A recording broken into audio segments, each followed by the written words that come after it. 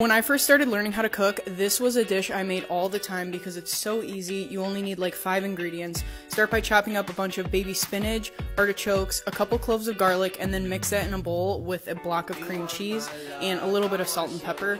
Mix that all up, and then you're gonna take four chicken breasts. You could cut this recipe in half, slice them down the middle, and fill it with the mixture. Season the top and then bake them at 425 degrees for about 30 minutes. I like broiling them at the end. So good. If you try it, let me know what you think.